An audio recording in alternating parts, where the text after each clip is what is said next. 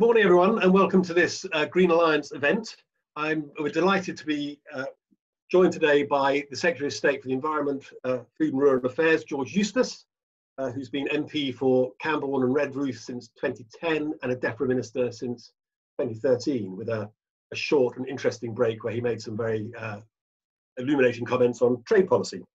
Uh, after the Secretary of State has spoken, there'll be short responses from Beccy Speight, Chief Executive of the RSPB, and Tanya Steele, Chief Executive of WWF. Uh, and then we'll have a panel discussion for about 20 minutes and uh, 20 minutes at the end for questions from the audience. Uh, if you'd like to pose a question, please use the Q&A function at the bottom of your screen. Uh, you can use the chat function to, as it were, talk among yourselves, but we won't be monitoring the chat function. We'll be looking at the questions posed. And if you like a particular question that's been posed by somebody, then you can upvote it by pressing the thumbs up, and it's more likely to be asked at the end by uh, Ruth Chambers, who will be collating the questions. Um, the last thing to say is that if you'd like to tweet during the event, please do so. And the hashtag for the event is hashtag GA event, hashtag GA event. Uh, and now it gives me great pleasure to welcome the Secretary of State, who's going to talk, I think, for about 10 to 15 minutes. Well, thank you very much, uh, Shaun, and good, every, good morning, everyone. And um, I'd like to begin by thanking all of those who've been working hard to protect and enhance our environment over the past few months. It's great to see sites open to the public again, but I'm also conscious that this crisis has had financial impacts on many organizations, impacts on membership, and that you face real pressures in keeping nature reserves and parks open. The impacts of this pandemic will be felt deeply for many years, but the experience has also led people to appreciate the difference that nature makes to our lives in a new way. There is an increased awareness of the link between our own health and that of the planet. Studies across the spectrum, from health to financial risk, remind us that in our, it is in our best interest to look after nature. We know that a connection with nature contributes to well-being and improved mental health. So starting this autumn, we'll be investing a further £4 million in a two-year pilot to bring green prescribing to four urban and rural areas that have been hit the hardest by the coronavirus. And then we want to scale that project up. When we destroy nature, we undermine our very foundations. Every country faces a choice as they map out their recovery. Store up problems by sticking with the status quo, or get back on our feet by building back better and greener. In our own country, nature has been in decline for decades. The last breeding populations of Kentish plovers were lost in 1928. Between 1932 and 1984, we lost 97% of our species-rich grassland, and heathlands have fared little better. Five species of butterfly have become extinct in the last 150 years, and our farmland bird indicator stands at less than half its value of 1970, following a precipitous decline during the 1980s and 90s, and further losses since. This government's pledge is not only to stem the tide of loss, but to turn it around, to leave the environment in a better state than we found it. In a few months' time, the transition period will come to an end, and the UK will be free to chart a new course. It is an important moment for policymakers, and nowhere more so than in our approach to the environment. As a country, we have opted for the freedom to act and to decide our own environmental policies in future. But with that freedom comes new responsibilities. It will no longer be the case that the UK can register a position as an outlier around the table during the development of a particular EU dossier, safe in the knowledge that a QMV voting system will always drive out something more nuanced. Instead, we must learn to temper our own approach. And we will not be able to hide behind EU law where there are difficult decisions to make, or indeed blame the EU when things don't work. Instead, we must level with people about difficult decisions and take responsibility for delivering the change that is required. Tackling environmental challenges requires a long-term approach and political commitment to that journey, even when the political cycle can be short-term. So we will shortly be publishing a paper that sets out our approach to setting long-term targets on biodiversity, waste, water and air quality through the new Environment Bill, so that they are established in time by October 2022. And we will, in the next few days, launch the appointment campaign for the first chair of the OEP, so that they will be in place to lead a new public body in 2021 to scrutinise and assess progress towards these targets. When it comes to our new approach to the environment, we must have an appreciation of what worked in the EU in the past and also what didn't work. Where there were approaches inside the EU that helped our environment, we should recognise these and be willing to borrow features from them. But there is no point leaving the EU to keep everything the same. The old model has not stopped the decline in our natural world, and we must therefore challenge ourselves to think creatively, to innovate, and to consciously avoid clinging to processes and procedures just because they are familiar. On environmental policy, we can do better or differently, and I want to open a discussion in this space today. Now, of course, leaving the EU table does not mean retreating from our role in the world. In fact, it means we should redouble our efforts globally. Long before we joined the EU, the UK was a driving force in establishing other international conventions to help our natural environment. We turned the IWC from being a forum that decided quotas for whaling to being a force for conservation. We were in at the beginning when CITES was first mooted in 1963 to protect endangered species when Ramsar protected wetland areas in 1971, when the Berne Convention protected habitats and species, when the Convention on the Conservation of African Eurasian Migratory Waterbirds was introduced, and later when CBD was established to safeguard biodiversity. Next year, we will host COP26, where we will be seeking to secure international action on climate change and biodiversity loss which will include emphasizing the role of nature-based solutions in that global endeavor, such as our work to tackle illegal deforestation and promote sustainable supply chain. So while the environmental legislation we currently have is often credited to flagship EU directives like the Habitats Directive or the Birds Directive, these directives themselves were often principally about implementing at an EU level things that had already been agreed internationally through other international conventions like the Berne Convention. International conventions that the UK was always part of, will remain part of, and where we will continue to drive international consensus for change and progress. Now, a few years ago, shortly after becoming a minister in DEFRA, I remember being given a huge report running to hundreds of pages, setting out exactly what the UK was doing to deliver its obligations under the Marine Strategy Framework Directive. It was a formidable piece of work which listed every piece of legislation we already had, including laws like the Protection of Seals Act 1970. But a covering note to the document recommended that I need not waste my time reading it because it said nothing new, committed us to nothing we were not already doing, and was mainly a summary of the laws and measures that we already had in place dating back to the 1960s. And when I asked what the purpose of the document was, the answer came back that it's just a requirement of EU law. Now, EU environmental has always had good intentions, but there are also negative consequences to attempting to legislate for these matters at a supranational level. It tends to lead to a culture of perpetual legal jeopardy where national governments can become reluctant to try new things, make new commitments, for fear of irreversible and unpredictable legal risk. And this in turn creates a culture where there are, frankly, too many lawyers and not enough scientists, and too many reports but not enough action.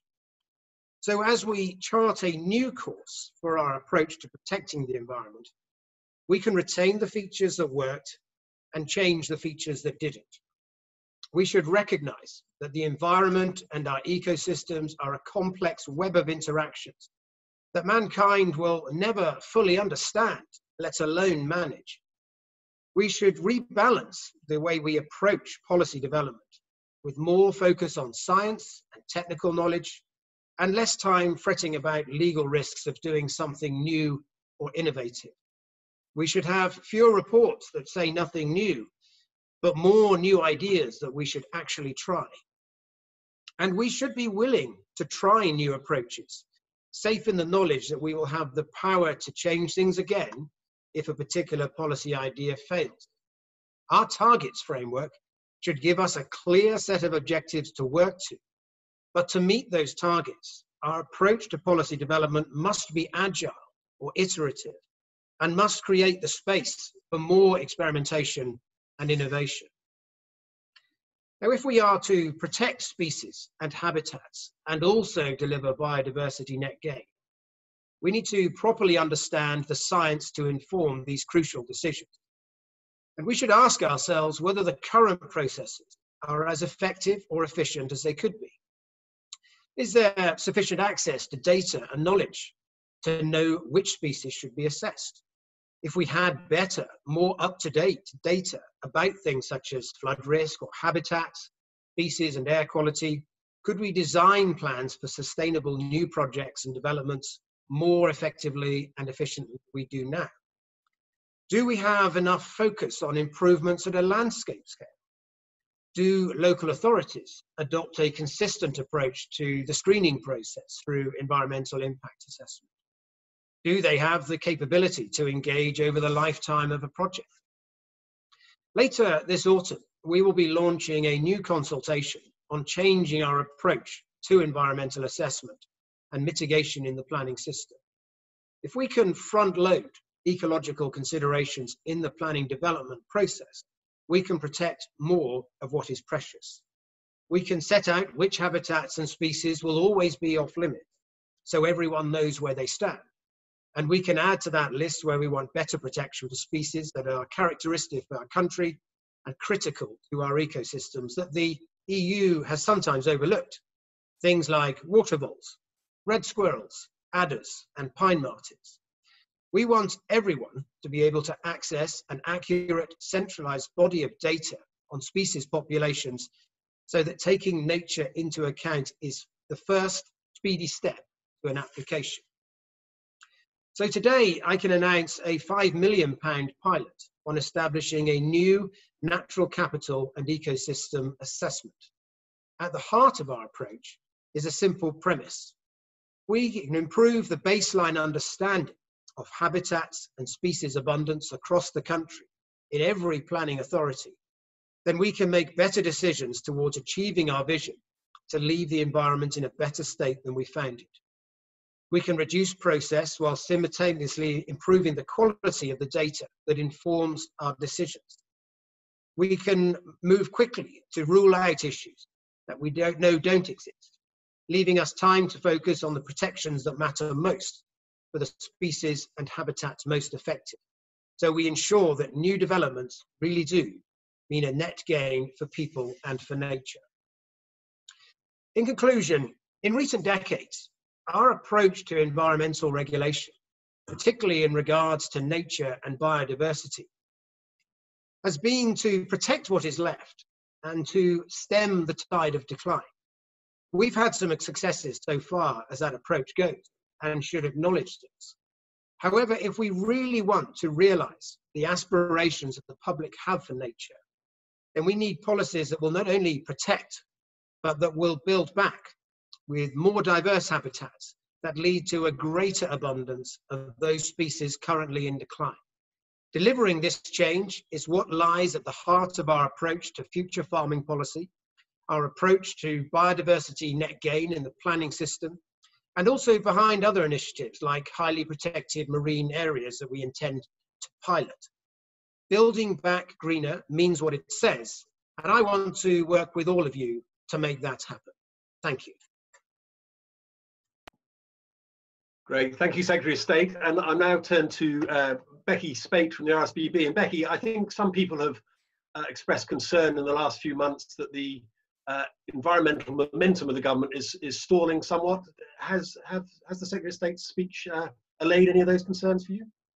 Well, it's all about reading the mood music. I was interested in um, something that the uh, Secretary of State said in his um, accompanying press statement, which is one, about wanting to see more ecologists and hear from more ecologists. And um, I suppose I'm trying to think like an ecologist as I respond to this and look at the overall system, join the dots up, and kind of look at the spaces in between what's being said as well. And our Secretary of State laid out very clearly the kind of starting position, which is that nature is not in a good state. It's declined particularly over the last 50 years. Um, and we are one of the most nature depleted countries in the world. We're the 29th lowest um, of 218 countries assessed in 2016. So it does feel as though things have been going in the wrong direction. Um, and uh, is it all the fault of the EU? Well, probably it's been the, the agri-environment schemes which uh, came in under CAP have certainly kind of, from our assessment, sort of held the line. They haven't reversed the decline, but they have held the line for some species. And that's why we're quite worried about the rumours that some of the, the, the, the CAP greening uh, policies might be removed without anything to replace them, and that would put at risk um, thousands of acres of, of, habitat that has been created. Um, and uh, and equally the kind of the lack of um, the lack of commitment to a non-regression um, commitment in the environment bill is a worry as well because we just want to say that you know we're not going to go backwards we're going to at least stay the same and hopefully as the secretary of state set out uh, improve the position uh, so in the in the face of that kind of of that decline and in the face of the urgency of the climate and ecological crisis then we know that big change is required um, and the Environment Bill and Agriculture Bill and the Fisheries Bill, of course, offer huge opportunities for that. But then along comes a zoonotic disease, so something that has been created out of our relationship with nature. Um, and you know the World Economic Forum starts saying that the top five global risks are environmental. Um, so I think we can all agree that we do need this more resilient economy based on healthy communities and a thriving natural world, and that that means really long-term investment, long-term thinking, big ambition, and a real chance to bend the curve in terms of nature's decline, that decline that we talked about earlier. But of course, coming out of that COVID crisis, we absolutely need jobs. So can nature help deliver that as well? And we know we've got 330 shovel-ready projects. We know that would create 10,000 jobs.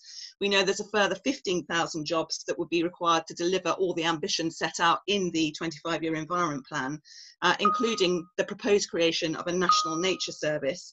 But that needs an investment along the lines of about 600 million pounds a year over a 10-year period. So what's being promised so far just kind kind of doesn't touch the sides of that. So that the ambition and the scale of investment needs to be much, much bigger. And instead, we find ourselves in a place where we're talking a lot about deregulation. So um, even though 93% of Conservative voters said they want to maintain or strengthen the protection for habitats and wildlife going forward, we find ourselves in a place where we're talking a lot about project speed um, and, and the need to review uh, EIAs, for example, um, now, you know, there is potential there to improve the system, improve the EIAs, but we should be clear that only 0.1% uh, of, of planning applications going to local authorities in 2017 and 18 actually required an environmental statement. So it's a very, very small percentage that we're talking about. And of course, national, uh, national infrastructure projects require an EIA as well, but I think we would want that to continue. So we're actually talking about quite a small percentage. So this kind of sense that sort of reviewing uh, environmental aspects of the planning system is what's going to kind of shift things is perhaps slightly misplaced. Um, and we know from the Letwin review in 2018 that was found not to be the case in terms of what was slowing down the planning system. It wasn't kind of environmental protection that was slowing it down. Um, and equally worrying is the kind of free ports move, so the move towards free ports, and that could be a return to the kind of the bad days of the 70s and 80s when we had kind of concreting over of really important mud flats for breeding birds and so on, just to create more car parking space. So the science and data approach is welcome, but we need to be careful that we're not going backwards on this. Um, and that deregulation kind of thrust combined with um, uh, the rumours of needing to clarify the Office for Environmental Protection and its role, um, the fact that we're only just getting going in terms of recruiting the chair, despite having identified that governance gap back in 2017, uh, means that we're really worried about this kind of watering down feel that's going on at the moment around what did feel like a really ambitious set of bills. So, um, you know, uh, the, the, environmental land management schemes, for example, at the moment under the agriculture bill and, and really important to delivery of the ambition set out in the environment bill, um, talks a lot about kind of a transition period. It's not clear what that's going to quite look like. That's kind of frightening farmers at the moment as well. Um, and then, you know, in terms of the ambition at the other end of uh, delivery, the tier two, tier three, that's looking like it's being watered down as well. So just kind of concern around that and concern around the fact that trade has not been fully We've had the stop of this trade um, and agriculture commission coming forward, but, you know, it's no clear, strong environmental voice on that. So while we welcome things like the, the £4 million investment in nature prescriptions um, and the way in which that addresses the access issues that Glover realised in the review of national parks and AONBs, um, you know, we worry that nature actually won't be there to prescribe for much longer. So, you know, the big concern is what is happening to nature. So as an ecologist, you know, we have to ask, does the action match the rhetoric? What patterns are we seeing? And actually we're seeing patterns that show a kind of watering down around the appetite for a green Brexit, a watering down of the appetite for a green economic recovery, um, and certainly looking towards the global position and COP26, which I know Tanya is going to talk about in a minute, um, we still see that our peatlands, for example, are losing 350,000 tonnes of carbon a year no commitment yet on stopping burning of those uh, of those peatlands, and no commitment yet to the 30% of land and seas to be well protected and managed for nature by 2030, which other countries are signing up to at the moment. So um, we don't see a kind of a, a major recovery plan for seas, and we certainly aren't seeing the major investment beyond that which already exists for nature climate solutions. So of course we will engage with Project Speed and trying to improve the planning system. And of course we will engage with the, uh, the welcome £4 million committed to nature prescriptions. Um, but we really need to see kind of a lot more deeds, not just words. If we want to be propositional around a real green recovery, then we absolutely need to be delivering it. And I suppose thinking like an ecologist, looking at the system at the moment and the gaps between the points, we would want to see more ambition, more heart, and certainly more investment in nature in order to deliver that. Um, and really, this should feel like a turning point. You know, everything is pointing in the direction of really putting nature at the heart of this resilient recovery. And actually, it feels more like more of the same, or in fact, going backwards. And that is the worry. So we stand ready to work with the Secretary of State to really turn this into a turning point. But at the moment, it doesn't feel quite like that. Thank you, Beccy. There a, there's a lot there, and I will give the Secretary of State a chance to, to, to come back. But before turning to Tanya, can I just pick up one thing from Beccy's uh, uh, long list, um, which is this point about non-regression, which I think has been mystifying a lot of us, which is that the Conservative manifesto is absolutely clear that there will be no compromising on environmental, uh, animal welfare or food standards. And yet there's been a consistent refusal to put that in legislation. And, and a lot of us simply don't understand why that's the case. I wonder if you just respond on that point, and then I'll give you a chance to come back on some of Beccy's other points after Tanya's spoken. Oh, I just taking off mute. Um, sure. Well, look, um, it's in our manifesto um, very, very clearly that in all of our uh, trade agreements, uh, then we will we will seek to protect. You know, we will protect food standards, our high standards of um, food safety, animal welfare standards, and the environment. That's there in our manifesto and the way that you you know deliver that really is through your mandate and the stance that you take to those negotiations. Um, so we don't think it's necessary or appropriate to put that on the face of the bill, and not least uh, the way it was done, it could render a few existing uh, trade agreements to be unlawful, uh, which would be a you know potentially a problem in itself. So we, we think the important thing is that that's an approach that we take into those trade uh, um, negotiations. Uh, we've been working closely with the Department for International Trade uh, to identify ways of um, making that work in practice, both through our approach to the SPS chapter, uh, which deals with food safety in particular, but also in our approach, obviously, to tariff policy, uh, which is uh, another approach. And um, we've also then established the you know, Food Standards Commission, which is something that I know green NGOs and uh, groups like the NFU had long called for, and that's uh, going to be launched uh, later this week. Um, Tony, do you want me to addressing some of Beccy's um, well, uh, perhaps uh, um, we'll return to you in a minute. I'll, I'll ask Tanya to respond Tanya, sure, first, sure. And, and, then uh, and, and, then you can res respond to some of Beccy's, Beccy's points. Just, just, a general reminder: if people want to tweet, it's hashtag GA event. Uh, and also, if you want to pose a question, then please do it in the Q and A rather than the chat function. Uh, Tanya. Thank you, Shaun. And um, Secretary of State, thank you uh, for your uh, opening comments and uh, your outline in terms of um, the direction ahead. And Beccy, also for your comments as well.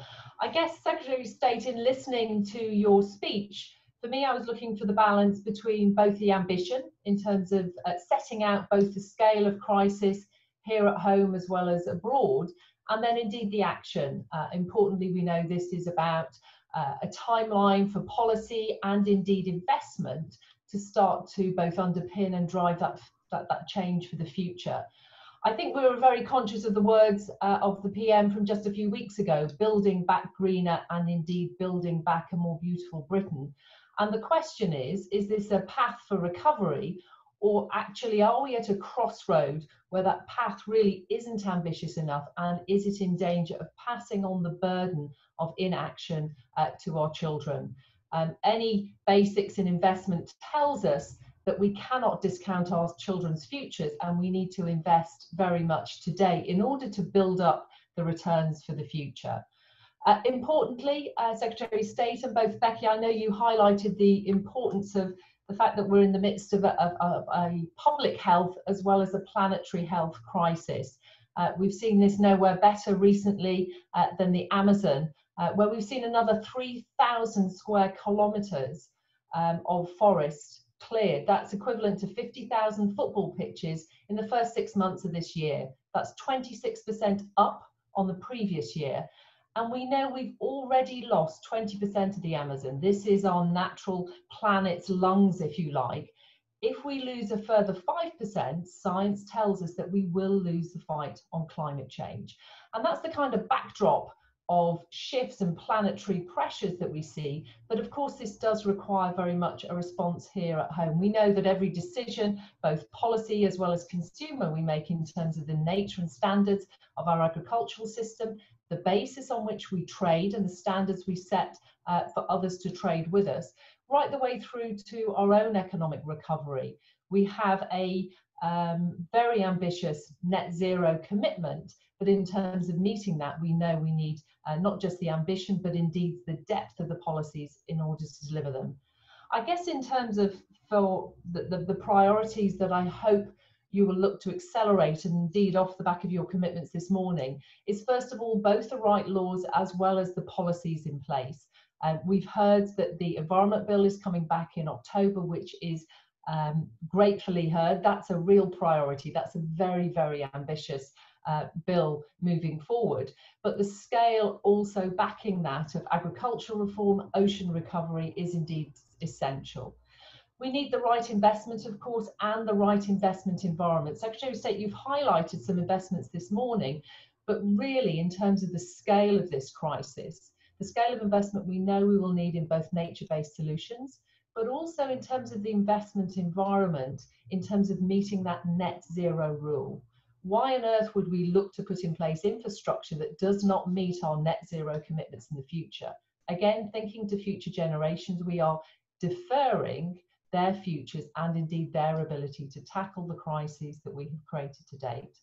And then I guess finally, in terms of global leadership, um, was delighted that you reminded us of really the very impressive uh, UK support over many years of really very impressive and important um, commitments across Ramsar, uh, whether it's across the uh, International Whaling Commission, whether it's through the establishment of the CBD. We also did this, of course, in terms of the Climate Change Act. We would very much hope, in terms of the UK's diplomatic effort and indeed convening power as we roll into COP26. But part of that diplomatic effort we know has to be backed by our own ambitious uh, commitments and indeed action here at home. If we do want to think about brand Britain, I do believe we need to fuse both UK action at home as well as the calls for the change that we're asking around the world. Thank you very much.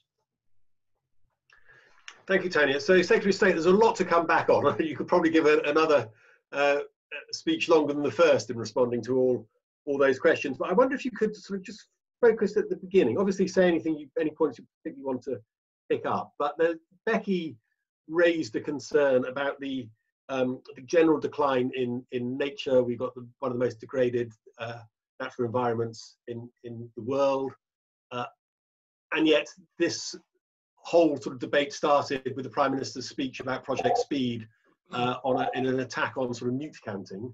And uh, Tanya has raised the concern about new infrastructure, whether it's going to be compatible with net zero.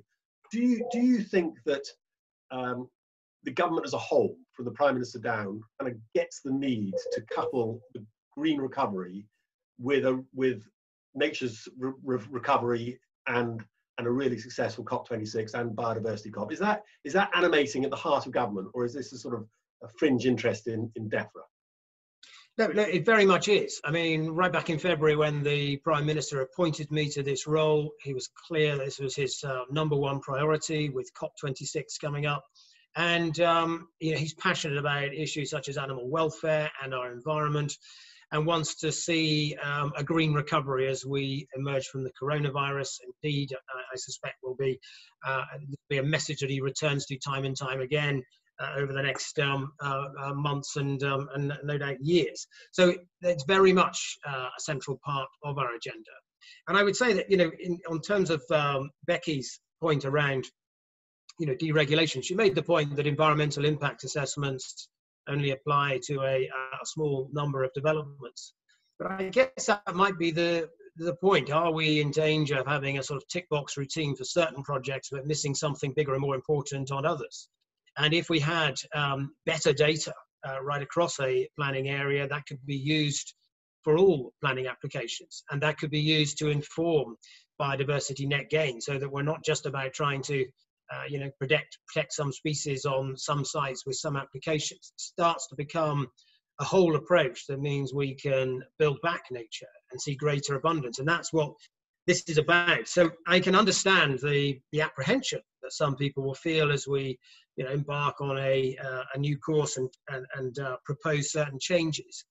But I, I very much hope, and it's for us to do this. I very much hope that as we roll out our um, uh, various approaches, you will you will see uh, that actually we are serious about this and we're serious about delivering. Indeed, later this morning, um, one of the meetings I've got is a cabinet subcommittee on climate change implementation. We'll be uh, talking about net zero, but also carbon budgets four and five and what we have to do to get there uh, across a whole range of sectors. Uh, it's an issue that um, is on our minds that we're focused on, notwithstanding everything else that is going on uh, in government. I think um, Beccy made uh, a point as well around funding.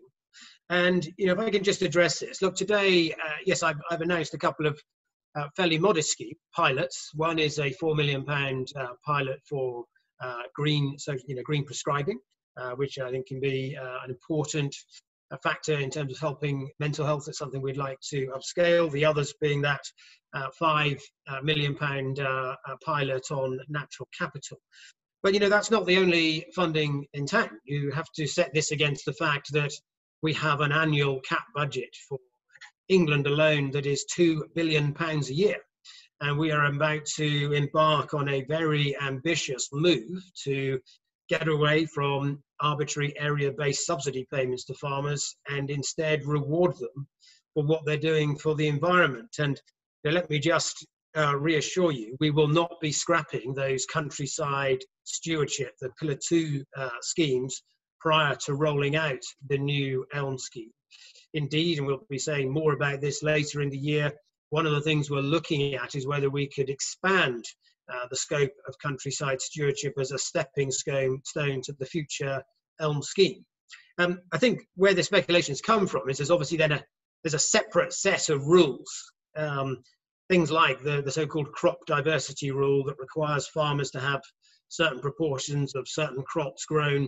Um, these were um, uh, rightly dismissed uh, by green NGOs as greenwashing at the time that they were introduced.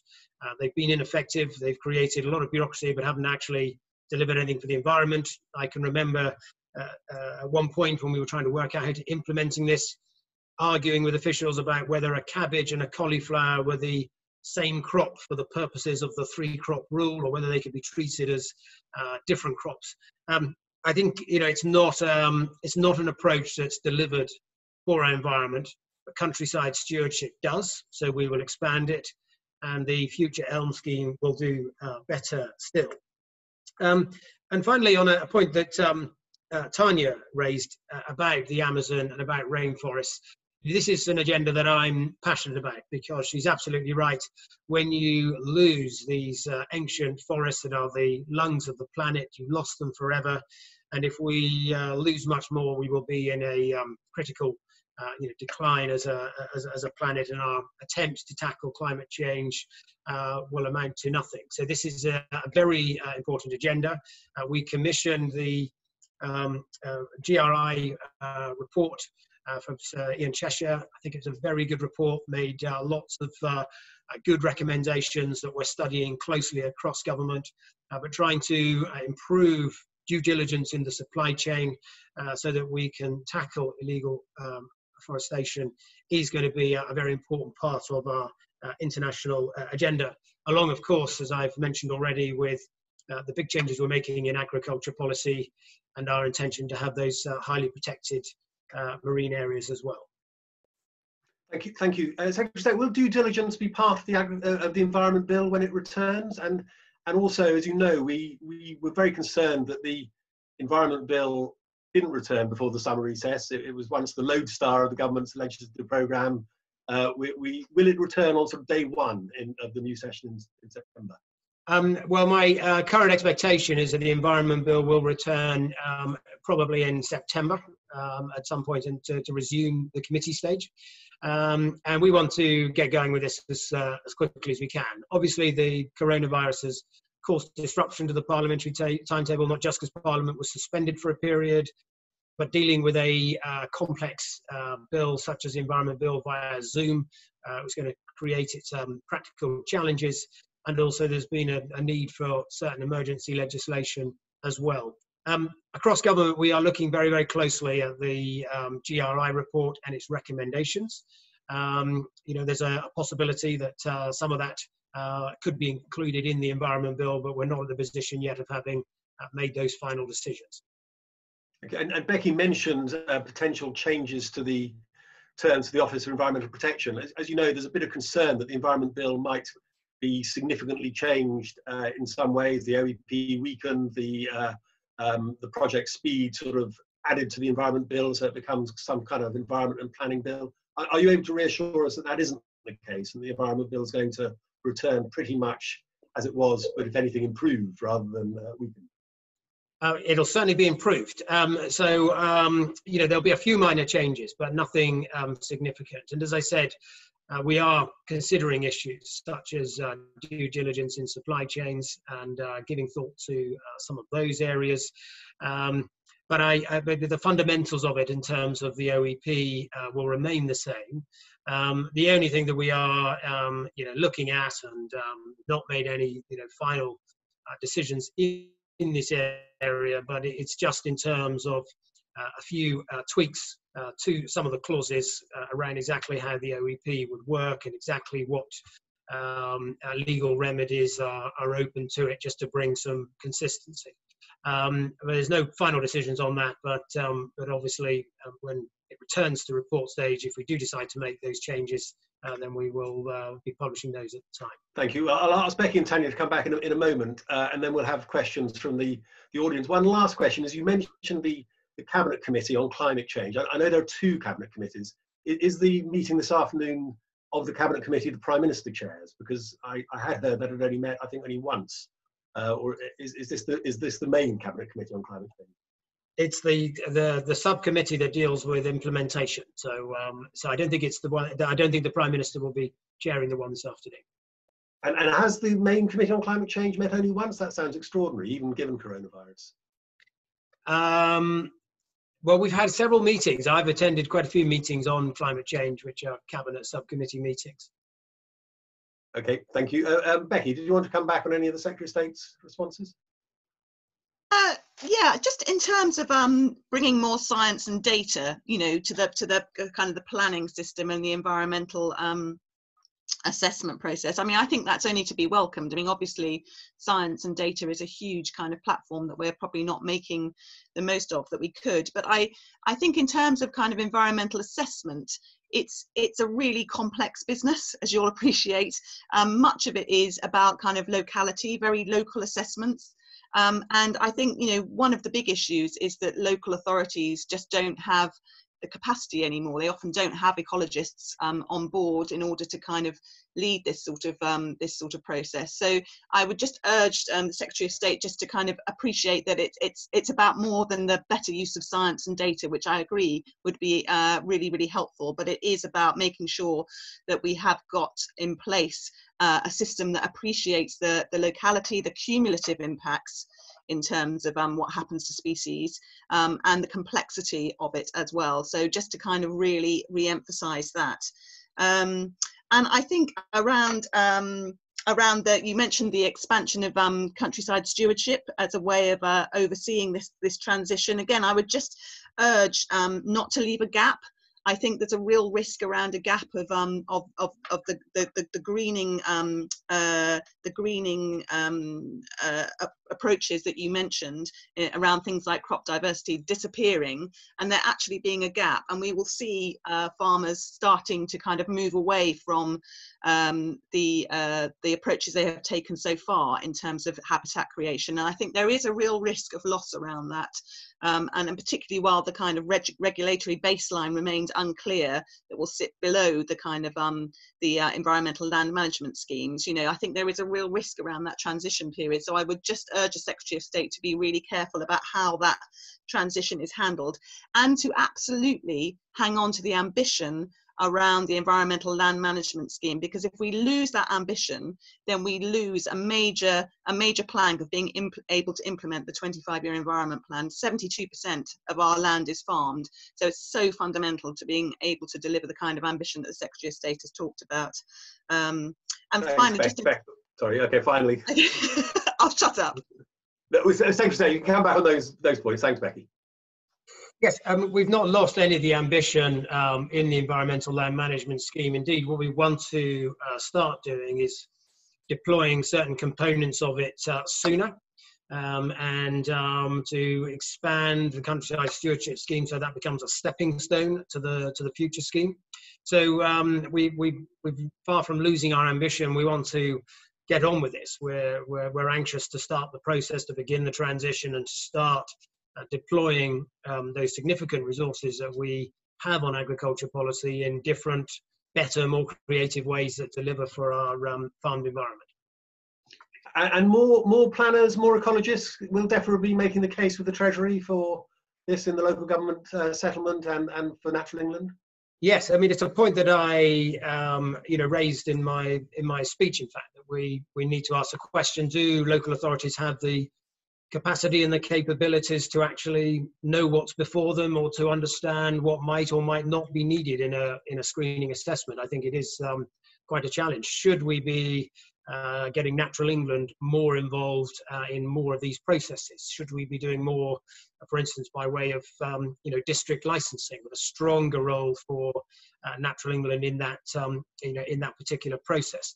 So I, I, agree that this is an area that we've um, got to get right, and it's potentially quite a weakness in the current system because we're relying on people to make assessments when they may not have the you know ability and the wherewithal to do that.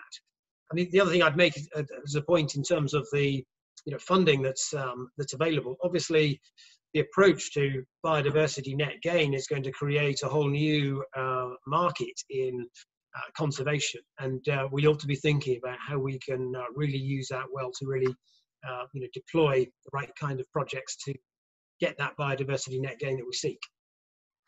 Thank you, Tanya. Do you want to follow up anything before we go to questions? two two very um, quick points, Secretary of State. Um, I guess we perhaps talked a little bit less about trade, bearing in mind uh, the interest, um, the potential, uh, again, for brand Britain, if you like. And I suppose for me to raise the question in terms of, I know we've heard a great deal about standards being made, uh, maintained, uh, environmental standards, production standards, animal welfare standards. Uh, the anxiety is that's not quite the same as allowing imports of a lower standard into the UK. We both know this is the first time in nearly 50 years that we've had the opportunity to negotiate these trade deals, but I think uh, there's obviously a ongoing concern in terms of the, the nature and the transparency uh, around those trade deals. And I guess secondly, and related to that, uh, any comments in terms of how important this is in terms of uh, our role as a global organisation, not least in hosting COP26 and uh, the convention, working on the Convention on Biological Diversity. Secretary of State, you rightly highlighted um, that we know we need to not only halt the destruction of nature, we need to move into restoration mode. I'd probably put it stronger in terms of we need to give it back and we need to give it back to future generations of children. Can we equally be sure that both the trade deals uh, that we're striking uh, for our own um, environment moving forward, as well as the steps we're taking here at home in terms of planning out uh, our next steps through the Environment Bill, will look to meet those kind of commitments. Yes, well, as I said, we've we've set out quite a clear position in our manifesto, and um, you know the point that I'd make is obviously in recent decades we've not actually been in control of these things at all. We have relied on the European Union to um, uh, strike trade agreements with us, uh, and they have. And um, they um, have already, in some cases, done trade agreements where they allow goods in that perhaps don't meet our standards, um, albeit in limited quantity. Now, we um, have an opportunity, uh, taking back control of this area, to have a modern approach to trade agreements where standards, including things uh, such as the environment and animal welfare, can be a, a, big feature of our asks of other countries when they're seeking access to the UK market. Uh, so there's an opportunity here to do things differently since we will be making these decisions and deciding our own mandate. And there will inevitably be uh, a bigger role for the UK Parliament because it'll be the UK Parliament that holds the government to account uh, on these trade agreements, whereas before, of course, it was the European Council that held the Commission to account. So I think we're in a stronger position to get a better approach and a more modern approach to these trade agreements by having control of that ourselves as the UK. Thank you, Secretary of State. Um, Ruth, we won't have time for many questions, I'm afraid. We will send all the questions and indeed the chat to the Secretary of State. Uh, but Ruth, what are the main questions and themes emerging? Thanks, Shaun. So I think there are four main themes emerging. We've had over 100 questions both on the day uh, and in advance. So thanks everybody for submitting ideas. And the four main themes, it won't surprise you, are the planning reforms and how they relate to environmental protections and how they will enhance and not undermine protections. The Environment Bill, where is it and how ambitious is it going to be? Marrying global ambitions with domestic um, ambition and how we sort of do that. And then the importance of nature to people. So those are the four, I think, clear themes coming out of the questions. Um, we've only got time probably for about three or four, so I'll, I'll, just kind of rattle off with the first one, if that's okay, Secretary of State. And that's about innovation and the question is that we'd all agree that innovation is critical, but so is taking um, science-based decisions, as you rightly reminded us. Can you therefore um, assure us that you remain committed to the precautionary principle as a fundamental pillar of environmental legislation? For the first question, please. And just to add to that, I think the concern is is the precautionary. Everybody talks about the precautionary principle, but the way the US has talked about the precautionary principle is less reassuring than the way we've practiced it for, for many years. So is it the precautionary principle as we know it? Um, well, the precautionary principle will be enshrined in the Environment Bill, and we are shortly going to be publishing, uh, you know, guidance on that. But um, I don't think um, I think often, often the um, the danger of this area is that terms get used um, in an inappropriate way out of context, and so you tend to have this kind of um, hazard-based approach versus precautionary uh, approach. And what, what, the precautionary principle actually means is that where there are gaps in the evidence, uh, but, um, but where you can see the shape of things or potential risks, then you should not allow gaps in the evidence to be an excuse for failing to act. Uh, so that is what the precautionary principle is. Um, we believe in that, we support that, and that is in the uh, Environment Bill. And uh, we, as I said, we'll shortly be publishing guidance on that and the other principles that are included. Thank you. Uh, Ruth. Thank you. So the next question um, is about the creation of free ports, and there's been speculation about what these might be, including in the newspapers over the weekend. Can the Secretary of State reassure us that this would not be at the expense of environmental protections? Um, yes, because we have in place uh, both our marine conservation zones, um, but also in some of those areas, we've got uh, triple SIs that are protected sites. Uh, around some of the ports, we've got special areas of uh, conservation as well. And um, these will uh, all be retained and uh, all of those designations are taken into account uh, when we have um, planning applications affecting ports and the MMO is the licensing authority in this area. So we have quite a comprehensive suite of protections that are in place both through designations but also through the licensing and permitting process uh, and those have um, those are being uh, you know retained and obviously uh, through any of those uh, applications uh, they would need to go through some of those um, some of those um, processes, get the necessary permits. Thank you, uh, Ruth. Another one. Thank you. So now building on some of the comments that Tanya in particular made about the connection between our global ambitions and um, domestic leadership, it's good to hear you talk about the UK's role in multilateral environmental agreements and pressing for nature-based solutions at COP26. That's very welcome. But before then, COP15 will determine a new framework for global nature targets where the UK could play a really important leadership role. What will you do before then to demonstrate that the UK is going to make a legal commitment to bending the curve in nature's decline in the UK? Well, we will shortly be publishing a paper that uh, sets out uh, our initial thinking, our thoughts on, um, on those target setting, including on biodiversity.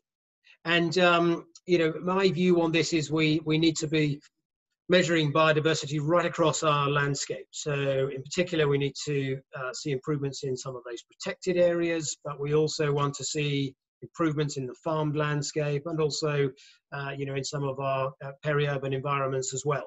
So um, we ought to be having a, a suite of um, targets and approaches that monitor and track biodiversity across uh, the landscape. And I think people will see that when we publish that uh, paper. Obviously, internationally, we're also doing quite a lot of work through the Blue Belt on the uh, overseas territories and through our ambition to do highly protected areas at home as well. And what I can tell you is that when it comes to CBD, um, absolutely right. Um, that is going to come ahead of COP26, but we've always um, viewed the two as being linked because we want to have nature-based solutions to climate change as a key part of the agenda, COP26. And we see actually what could be agreed uh, at CBD to get you know, meaningful um, commitments to targets on uh, biodiversity gain uh, as being uh, an important staging post on the way to COP26. And uh, Zac Goldsmith's doing quite a lot of work in this area uh, to, to establish exactly how we can make that happen. Thank you. Ruth, time for one more, or perhaps two if you've got any journalist questions as well, but up to you. Um, so, so, the next one is on the Environment Bill, and it was great to hear you say Secretary of State is coming back in September. I think when the bill had its second reading, um, you said something like you would be open to good amendments on the bill. It won't surprise you that many of us have some suggestions for good amendments that would improve and clarify um, certain of the key provisions would you be willing to make some time over the summer to have a look at those amendments? And not now, but would you also be willing to have a conversation with us about the proposed clarifications you mentioned to the remedies uh, function of the OEP? Because I think that would be of great interest to many organisations in the sector. Um, yes, uh, the short answer, I can do a very short answer there. Yes, if you've got um, suggestions or proposals, uh, I mean, obviously, I know uh, quite a lot of uh, amendments will have been tabled already, and um, there's been you know conscious has been a, a long running debate and this bill was introduced previously as well. But I'm, I'm more than happy to consider any particular proposals people might have. Um, and, uh, and of course, um, if we get to the point that we've got some uh, additional amendments that we're going to make, we can uh, certainly brief you on that. Uh, thank you, Ruth, and thanks to all the questioners. Uh, really quick last comments from, from uh, Tanya and Beccy. I'll go in that order this time. Um, and, and Tanya, I just want to say, what, what do you want the Secretary of State to say? The one thing you'd like the Secretary of State to say, which would make you leave this event with a spring in your step? Or maybe he's already said it. I hope so.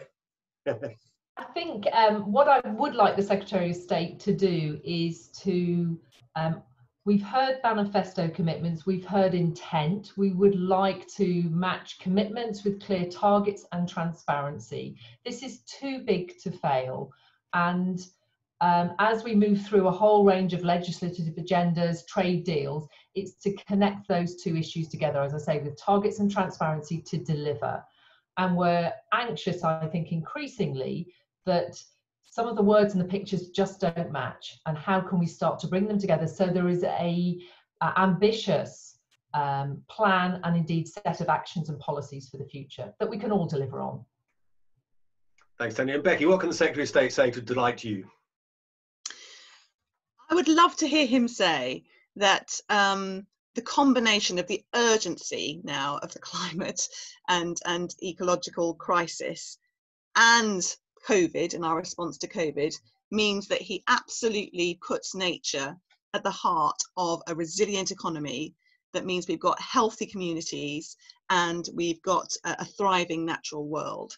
And that in order to do that, he personally undertakes to make sure that our, our legislative opportunities and our funding will match that ambition it really is now or never, and this needs to be a turning point. And I would love to hear his personal commitment to making sure that ambition and that delivery absolutely matches the rhetoric.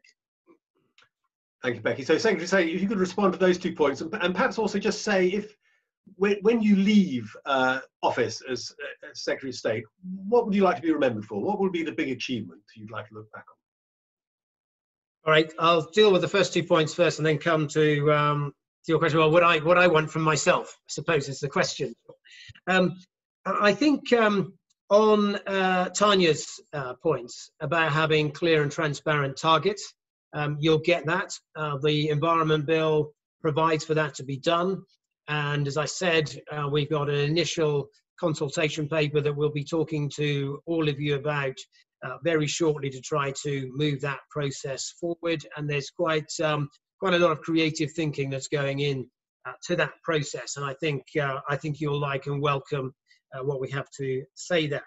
Um, the other thing, in terms of um, uh, Tanya's point again about you know, trade agreements and linking our ambitions for the environment and issues like animal welfare through that. Um, by the end of this month, we're going to have the uh, interim report on the food strategy by Henry Dimbleby published.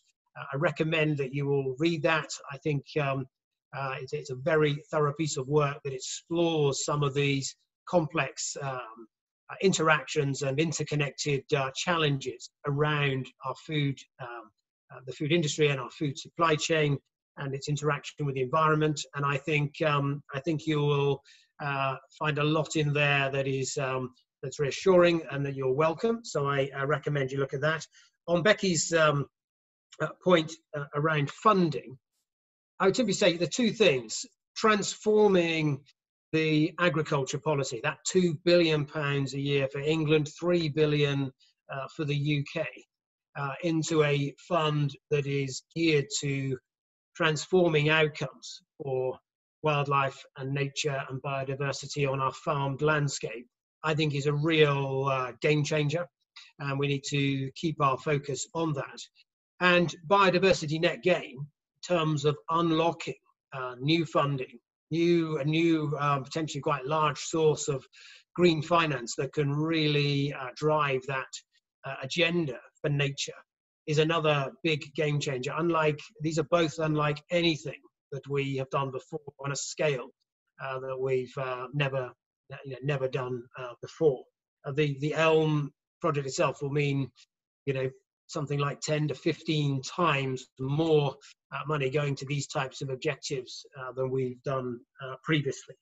And finally, Shaun, um, what I would like to be remembered for, I think, is um, uh, having successfully demonstrated uh, not just to um, an apprehensive uh, public and apprehensive NGOs, but to the world at large that actually taking back control of these policy areas and having that freedom to innovate and try new things and do things differently uh, in 10 years' time will be yielding real results. Uh, with those metrics on things like biodiversity and water quality moving in the right direction, uh, and with the rest of the world wanting to come to the UK uh, to see how it's done and how we delivered it and to learn from the policy choices we put in place. That would be uh, my aim. You might think that's ambitious, but I think this is a once in a generation opportunity. We've not had a chance like this for half a century to truly shape imaginative policy in this area. That's what I'd like to do. Great. Thank you very much indeed. Thanks everybody um, for, thanks to all the speakers, particularly the Secretary of State for uh, being so open and succinct, but thanks to the speakers, thanks to Ollie for organising and the DEFRA team. I apologise I've run over.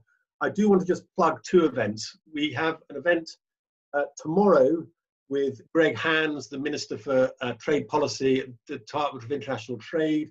Uh, that's at, I think, 10 a.m. Uh, look on the Green Alliance website. The DIT has been a kind of uh, dead zone for environmental thinking up till quite recently, and it's great that Greg Hands is coming out to speak. So please do do come along to that. And on Thursday at 2:30, uh, Professor Partha Dasgupta uh, will be speaking about the Dasgupta Review with uh, Fiona Reynolds and, and, Roger Gifford. So another great event. This event was, has been recorded. It'll be on the Green Alliance YouTube channel later today and probably turned into a podcast. And full details of all our events are on the Green Alliance website. So thanks very much to the audience. Uh, thanks to Secretary of State and the respondents. And have a very good day, everybody. Bye-bye.